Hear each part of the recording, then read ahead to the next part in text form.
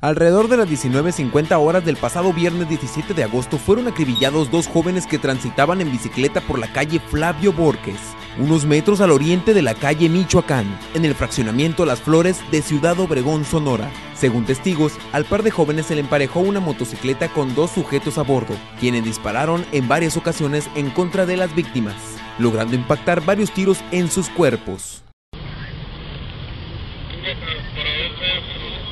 dirige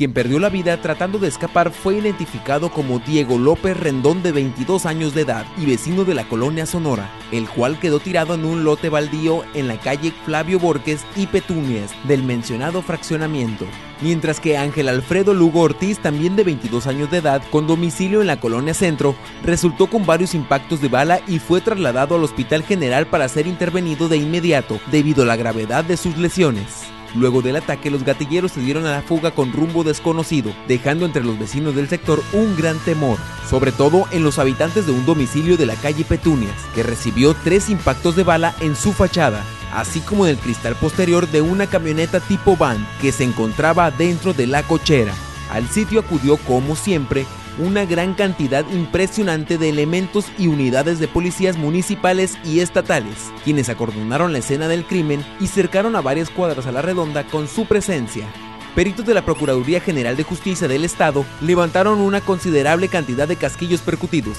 así como una pistola tipo escuadra calibre .380, además de las bicicletas. De la misma forma, acudió el agente del Ministerio Público del Fuero Común, quien ordenó el levantamiento del cadáver para su traslado al servicio médico forense para llevar a cabo los trámites correspondientes.